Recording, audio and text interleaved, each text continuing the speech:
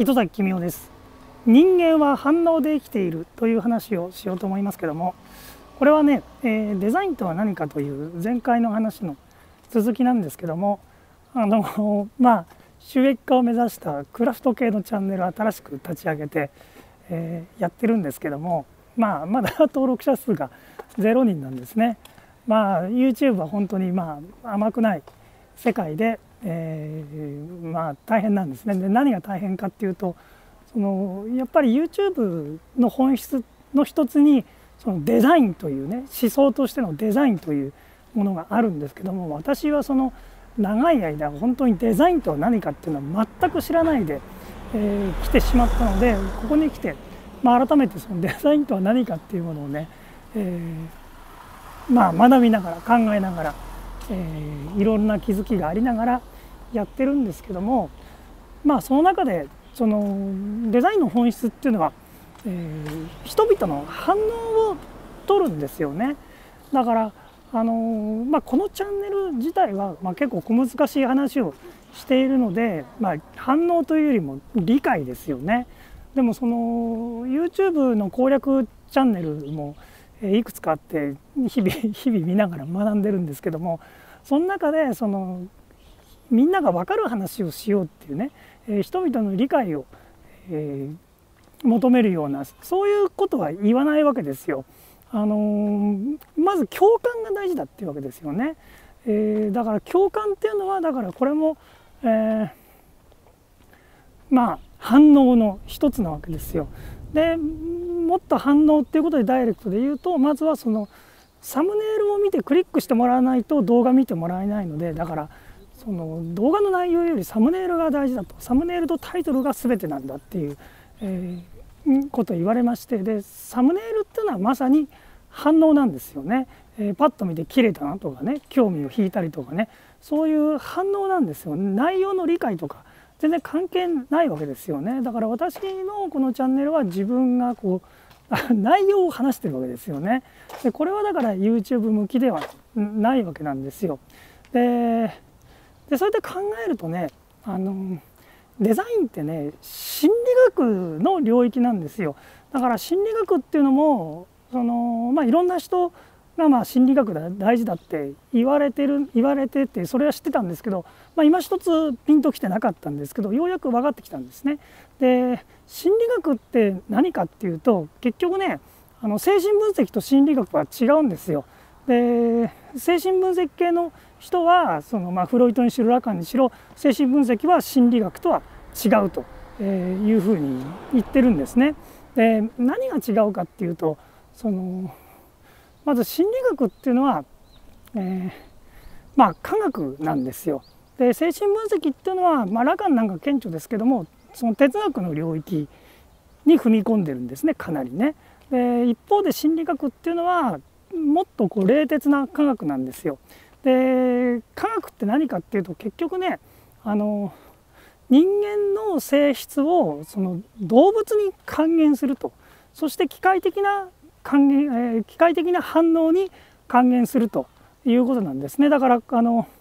古典的な心理学の実験でいうとあのパブロフパブロフの犬というのがありますよね。犬に食べ物を見せるとよだれが出ると。でこれはだから犬の思考犬がね考えてなんかこうよだれが出るんじゃなくてこう反応としてよだれが出てきちゃうわけですよ。それは人間もそうなんですよ。だから人間というのはその考える前に、えー、感じてるんですね。反応してるんですね。だからさまざまな反応をしちゃってるわけですよ人間というのは。だからそのであの人間がねそのお金を払うってことですね。お金を払うってことも結局ね反応してお金払ってんですよ。それが大半なんですよ。その内容をよく理解して、ね、理解してお金を払うということよりももう反応で、えー、金を払うと。だからその世の中さまざまな広告にあふれてるわけですね 今ここちょっと全然、えー、街中から外れてのどかな風景なので何もその広告的なものはないんですけどもだから、えー、広告っていうのはだからそのまあ YouTube のサムネイルもそうですけども、えー、まあ、世の中いっぱいさまざまな広告が溢れてるわけですよね。でそれっていうのは人々に反応してもらうためのものなわけですよ。でそこでその人間がどういうところに反応するのかっていうその心理学ですね。でそれはだからその人間の言ってみればその動物としての性質なわけですよ。ね、派手なものに反応するとかね、まあ、あの この可愛いうさちゃんだって可愛いものに反応するっていうのも一つの反応なんですよね。で私のこのチャンネルに限ってはこの、えー、ゆさちゃんが可愛いっていう反応を取り立ててその心理学的には利用していないわけですよね。えー、むしろその何て言うか、えー、まあ、映像上の表現の効果として、えー、使ってるわけですけども、えー、でこういうのはだからデザインではないわけですね。でもう一つだからデザインっていうのはその人々の、動物としての人々の性質に由来する反応ですからあの、まあ、パターンが決まってるんですね。そしてもう一つは人間というのはその類似のものに反応すると、えー、異質なものには反応しないわけですね。このこの私の今の喋ってるチャンネルはあまりにもその YouTube の動画としては異質なんですよね。でまあ映像の他の映像映画映画を含めて、えー、まあ、かなり異質なわけですよね。とにかく歩きながら喋るっていうスタイル自体がまあかなり異質なわけですよ。でそうするとね人々の反応はもらえないわけですよね。あの実はあのえイメージフォーラムフェスティバルにこのチャンネルの動画を加工して、え1本の動画にして出品したんですけど、まあ、見事落選したんですね。え結局ねあのああいうコンペもねその今までにない新しい作品を求めますなんつったって、えー、それ嘘っぱちでねあのあんまりにも新しい作品って、えー、人々は反応できないんですよね。だからそのやっぱりデザインの基本というのは人に受ける人の反応を得る。そして人に反応させてお金を出させると、ね、お金を出すっていうのも人々の反応の一つですからね。それを促進するにはそのなんかね似せてなきゃいけないんですよ。売れてるものに寄せる。売れてるものに似せるだからあのやっぱり YouTube で収益化をしようという目線でさまざまな YouTube を見るとその一つこう流行ってる動画があると、えー、それに類似する動画っていうのはいっぱいあるわけですよね。だからまああの目立つところで言うとそのフェルミ研究所ってあの漫画系の、えー、YouTube チャンネルありますけどもあの昔はフェルミしかなかったんですけどフェルミみたいな漫画系の YouTube チャンネルっていっぱいあるんですよね。でサムネイルもこう2分割で漫画のキャラがこう2コマ並んでて上の方になんか、えー、セリフがあるみたいなねそういうお決まりのサムネイルのパターンもあのみんな真似してるんですよ。ね、なんで真似するのかっていうとそれはだからそのオリジナリティがなくて志が低いとかね そうあのつまり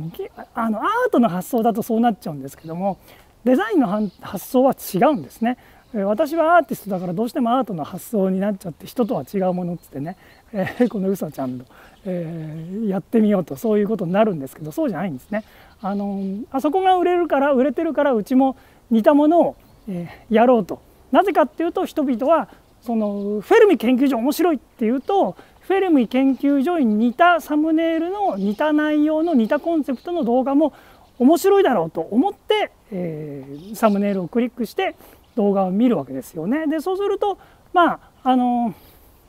えー、なんだっけなヒューマンバグ大学かな？とかなんとかってまあ今でもとにかくいろいろキリがないんですよいっぱいあるんですねフェルム研究所系の、えー、そうそういうものってね。えー、でどれもまあそこそこは面白いわけですよね。えー、でそうやってだから世の中できてるのでで、え、その意味で言うと今私が作ってるまああのクラフト系のチャンネルなんですけどちょっとやっぱりねあの私のオリジナリティがまだ出過ぎてるかなというふうに思ってるんですねだから本当に収益化狙うんだったらそのまあ自分に何ができるのかということとあとはその